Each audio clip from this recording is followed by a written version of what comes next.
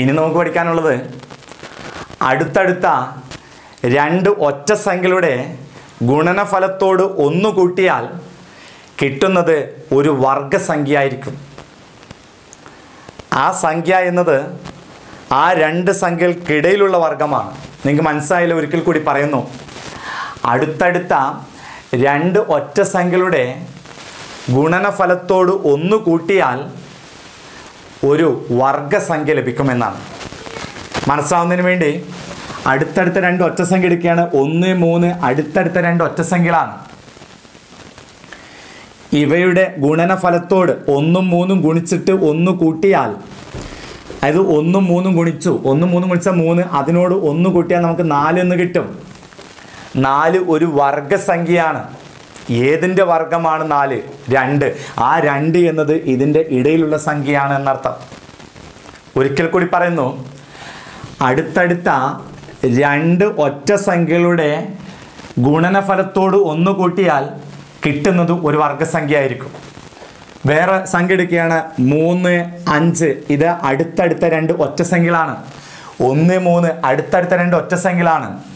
ഇവിടെ മൂന്ന് അഞ്ച് അടുത്ത അടുത്തടുത്ത രണ്ട് ഒറ്റ സംഖ്യകളാണ്.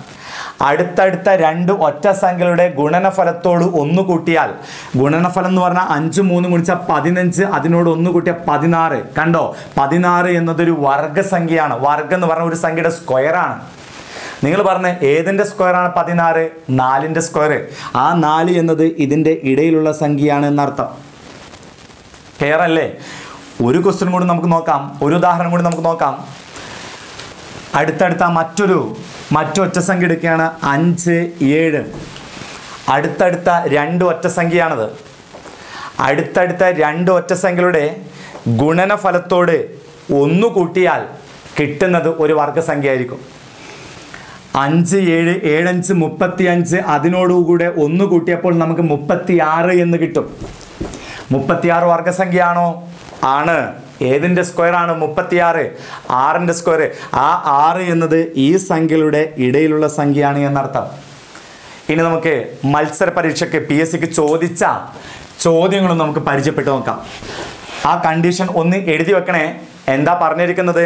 അടുത്തടുത്ത രണ്ട് ഒറ്റ സംഖ്യകളുടെ ഗുണനഫലത്തോട് ഒന്ന് കൂട്ടിയാൽ കിട്ടുന്നത് ഒരു വർഗസംഖ്യ ആയിരിക്കും ഓക്കെ ചോദ്യം എങ്ങനെ അടുത്തടുത്ത രണ്ട് ഒറ്റ സംഖ്യകളുടെ ഗുണനഫലത്തോട് ഒന്ന് കൂട്ടിയാൽ നൂറ് കിട്ടും. സംഖ്യകൾ ഏതൊക്കെയാണ് എന്നാണ് ചോദിച്ചിരിക്കുന്നത്. അടുത്തടുത്ത രണ്ട് ഒറ്റ സംഖ്യകളുടെ ഗുണനഫലത്തോട് ഒന്ന് കൂട്ടിയപ്പോൾ നൂറ് കിട്ടി. എങ്കിൽ ആ സംഖ്യകൾ ഏതൊക്കെയെന്നാണ് ചോദിച്ചിരിക്കുന്നത്. നമുക്കറിയാം നൂറ് എന്നത് ഒരു വർഗസംഖ്യയാണ്. ഏതിന്റെ സ്ക്വയറാണ് നൂറ്? പത്തിന്റെ അപ്പോൾ ആ സംഖ്യകൾ എന്ന് പറയുന്നത് പത്തിന്റെ റൈറ്റും ലെഫ്റ്റും ഉള്ള സംഖ്യകളായിരിക്കും. എന്ന് പറഞ്ഞാൽ ഒമ്പത് പതിനൊന്ന് ആണ് ആ സംഖ്യകൾ.